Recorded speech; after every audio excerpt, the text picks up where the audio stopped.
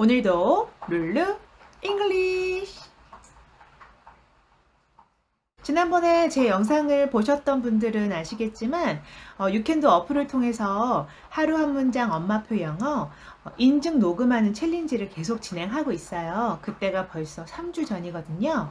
1기 모집을 시작으로 해서 현재 4기까지 진행을 하고 있고요. 다음 주는 5기 모집을 앞두고 있어요. 하루 한 문장, 오전에 제시되는 문장을 외워서 녹음하는 챌린지 형태예요.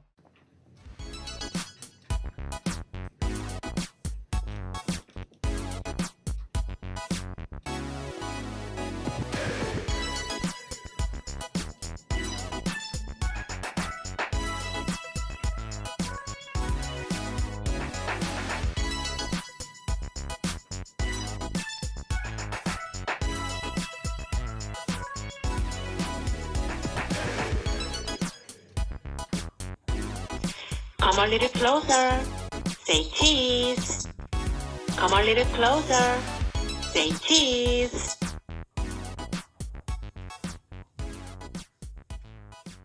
하셨던 리뷰를 살펴보면 어, 어렵지 않아서 좋았다. 하루 한 문장이어서 부담 없어서 좋았다. 아이들에게 바로 사용할 수 있는 문장들이어서 유용했다라는 말들을 많이 해주셨어요.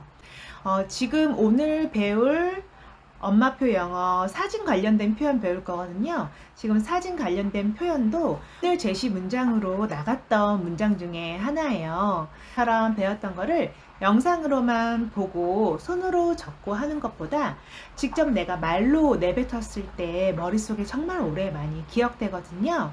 이 영상 함께 하시고 엄마표 영어 관심 있는 분들은 유캔도 어플 다운받아서 저희 룰루 English 두이창에 함께 참여하셨으면 좋겠어요.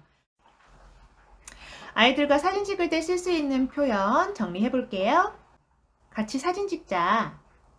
Let's take a picture together. Let's take a picture together. 여기서 사진 찍자. Let's take a picture here. Let's take a picture here. 가족 사진 찍자. Let's take a family picture. Let's take a family picture. 셀카 찍자. 셀카는 셀픽이라고 해요. Let's take a 하고 계속 반복되는 거 보면 아 여기 이걸 넣으면 되겠구나 하는 감이 오시죠? Let's take a selfie. Let's take a selfie. 한 번 더 찍자. Let's take another one. Let's take another one.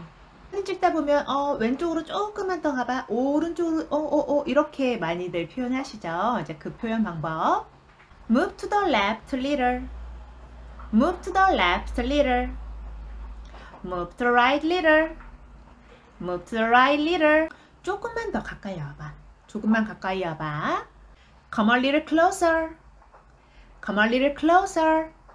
친구들끼리 모여 있거나 이렇게 뭐 친척 친구들끼리 모여 있을 때도 사진을 아이들끼리 이렇게 찍어줄 때가 있죠 어른들이. 이제 그럴 때 쓸 수 있어 어 얘들아 조금 더 가깝게 가깝게 붙어봐.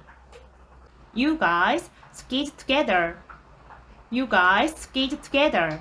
여기서 squeeze는 이렇게 꽉 짜다 이렇게 꽉 앉다 이럴 때도 쓸 수 있거든요. 아주 가깝게 서 봐 라는 뜻으로 squeeze 하고 표현할 수 있어요. 그 외의 표현으로 좀 더 가깝게 서 봐 누구 누구 옆에 좀 더 가깝게 가봐 라는 문장을 만들 수 있는 건 stand close to your 뭐뭐뭐 stand closer to your brother 형 옆에 가깝게 서봐 stand closer to your sister 언니 옆에 가깝게 서봐 Stand closer to your dad.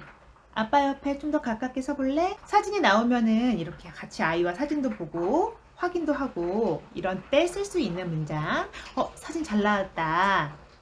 The picture looks great. The picture looks great.